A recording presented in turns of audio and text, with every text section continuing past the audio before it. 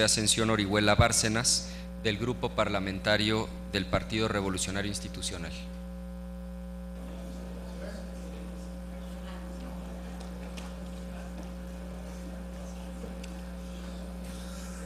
Gracias, señor presidente, con su autorización.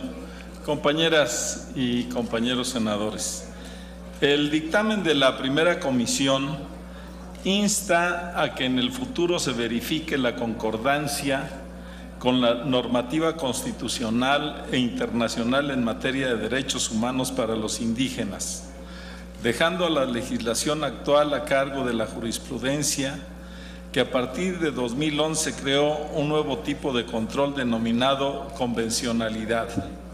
Esta señala que cualquier situación que no esté en concordancia con el marco legal nacional e internacional queda a cargo de resolución por parte del Poder Judicial de la Federación. Es importante instar a los distintos órdenes de gobierno y a los grupos indígenas a ser cuidadosos de la concordancia con los instrumentos internacionales en materia de derechos humanos, tanto para denunciar los que haya lugar y cuidar los avances en la materia. En este sentido, es de vital importancia hacer un recuento de los acuerdos en esta materia que México tiene signados. Primero, la Carta de las Naciones Unidas es considerado el primer tratado internacional encargado de velar en materia de derechos humanos. Data de 1945 y de la misma se derivó la Declaración Universal de los Derechos Humanos. Dos, los pactos internacionales. Pacto Internacional de Derechos Civiles y Políticos, Pacto Internacional de los Derechos Económicos, Sociales y Culturales, los cuales dan fe del avance en materia de reconocimiento de derechos en el ámbito internacional. Tres, la Carta de la Organización de los Estados Americanos. Es un tratado internacional que se firmó en 1948 y entró en vigor en México el 13 de diciembre de 1951.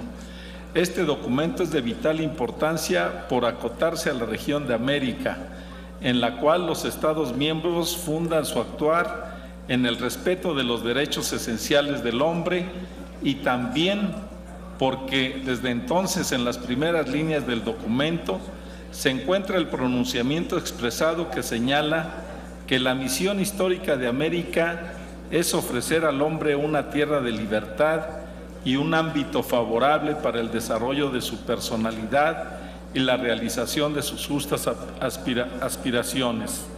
En este sentido, el respeto a la tierra de los pueblos indígenas es desde entonces una garantía y una prioridad. Ahora bien, en lo particular del tema en cuestión, Existen expresamente cuatro acuerdos internacionales firmados, especialmente en materia de pueblos indígenas. Primero, el Convenio 169 sobre pueblos indígenas y tribales, firmado el 27 de junio de 1989. México, con la participación de esta soberanía, lo ratificó el 5 de septiembre de 1990 y un año después entró en vigor.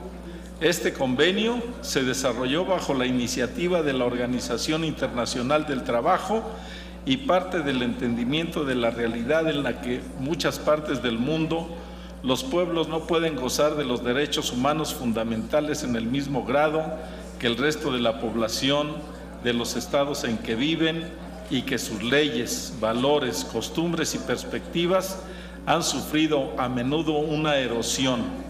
Con esto, se adquiere la obligatoriedad de los gobiernos firmantes a asumir la responsabilidad de desarrollar, con la participación de los pueblos interesados, una acción coordinada y sistemática con miras a proteger los derechos de los pueblos indígenas y a garantizar el respeto de su integridad. Segundo, el convenio constitutivo del Fondo para el Desarrollo de los Pueblos Indígenas de América Latina y el Caribe este tratado se firmó en 1992, ratificado por México en julio de 1993 y entró en vigor el 4 de agosto de 1993. Fue resultado de los trabajos de la Segunda Cumbre de Estados Iberoamericanos, en la cual se contó con la representación de pueblos indígenas de la región y tiene por objeto el establecer un mecanismo destinado a apoyar los procesos de autodesarrollo de los pueblos, comunidades y organizaciones indígenas de América Latina y el Caribe. 3. La Declaración de las Naciones Unidas sobre los Derechos de los Pueblos Indígenas es un instrumento internacional derivado de la resolución de la Asamblea General de la ONU que fue aprobada y proclamada en la 107 sesión plenaria de la Asamblea General el 13 de septiembre del 2007. En esta declaración se estableció que los pueblos indígenas son iguales a todos los demás pueblos. Se reconoció el derecho de todos los pueblos a ser diferentes, a considerarse a sí mismos diferentes y a ser respetados como tales. Se afirmó también que todos los pueblos contribuyen a la diversidad y riqueza de las civilizaciones y culturas que constituyen el patrimonio común de la humanidad. Y un aspecto muy importante, se rechazó toda doctrina política y práctica basada en la superioridad de determinados pueblos o individuos o que la propugnan aduciendo razones de origen nacional o diferencias raciales, religiosas, étnicas o culturales. Estas son racistas, científicamente falsas, jurídicamente inválidas, moralmente condenables y socialmente injustas. Cuarto, la Declaración sobre los Derechos de las Personas que pertenecen a minorías nacionales o étnicas, religiosas y lingüísticas.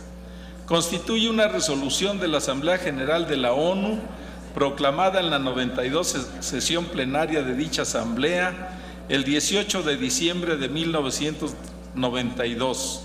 Esta resolución afirma uno de los propósitos básicos de las Naciones Unidas proclamadas en la Carta, el desarrollo y el estímulo del respeto a los derechos humanos y las libertades fundamentales de todos, sin hacer distinción por motivos de raza, sexo, idioma o religión. También la necesidad de lograr una aplicación aún más eficiente de los instrumentos internacionales sobre derechos humanos en lo que respecta a los derechos de las personas pertenecientes a minorías nacionales o étnicas, religiosas y lingüísticas. De esta forma, los estados que firman entre ellos México se comprometen a proteger la existencia y la identidad nacional o étnica, cultural, religiosa y lingüística de las minorías dentro de sus territorios respectivos y a fomentar las condiciones para la promoción de esa identidad. Asimismo, se establece formalmente el compromiso de una de las principales tareas que nos atañe, el adoptar las medidas apropiadas, legislativas y de otro tipo para lograr esos objetivos. Compañeros diputados y senadores, Michoacán, mi estado, es un estado que tiene una gran tradición indígena. Contamos con tres grandes etnias, la purépecha, la mazahua otomí y una etnia náhuatl que se encuentra en la costa de Michoacán. Por eso nos preocupa y nos interesa mucho este tema. Como ustedes saben también, la mayor parte de los indígenas están habitando los estados del sur, habitan localidades o municipios menores de 20 mil habitantes y tienen problemas reales de marginación. Por eso, eh, los grupos parlamentarios del PRI reconocemos las desigualdades históricas que padecen las comunidades indígenas de México. Por ello, hacemos un llamado a todas las fuerzas políticas del país para consolidar un régimen jurídico que garantice el acceso y goce de los derechos constitucionales en la salud, la educación, la cultura, una vida laboral y productiva digna a los cargos de elección popular y a una vida libre de discriminación. Por eso apoyamos eh, este tema. Muchas gracias, señor presidente, y gracias por su atención. Gracias a usted para hablar sobre